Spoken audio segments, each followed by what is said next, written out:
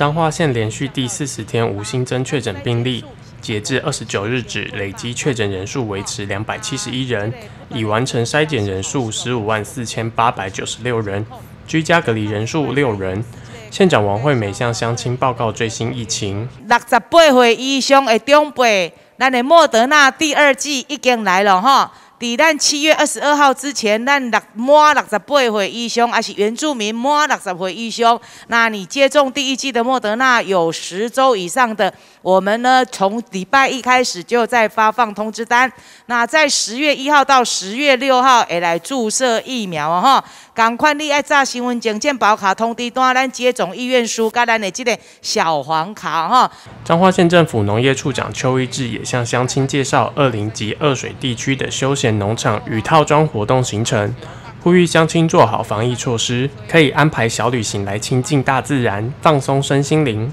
王县长贴心提醒乡亲，第十期疫苗将于十月三日上午十点开放预约 A Z 及高端疫苗。A Z 疫苗开放五十岁至六十四岁，九月三十日前第一剂接种间隔满十周以上者；